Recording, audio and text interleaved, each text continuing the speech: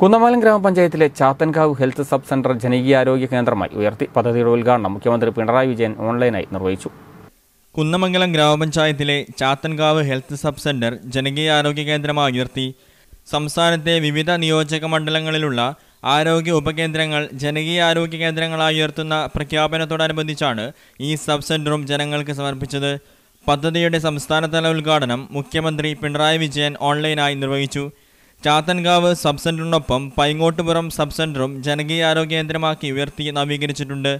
ചാത്തൻകാവ് ജനകീയ ആരോഗ്യ കേന്ദ്രത്തിൽ നടന്ന പരിപാടിയിൽ P T A Raheem M L A Kunnamangalam ഗ്രാമപഞ്ചായത്ത് പ്രസിഡന്റ് ലിജി പുൽക്കുന്നമ്മൽ കുടുംബാരോഗ്യ കേന്ദ്രം medical officer doctor K V Sibi ഗ്രാമപഞ്ചായത്ത് മെമ്പർമാരായ K Suresh Babu T Sivanandan U C Preethi Baiju Choimadathil എന്നിവരും പി ഉണ്ണികൃഷ്ണൻ കെ സനൂപ് തുടങ്ങിയവരും സംസാരിച്ചു.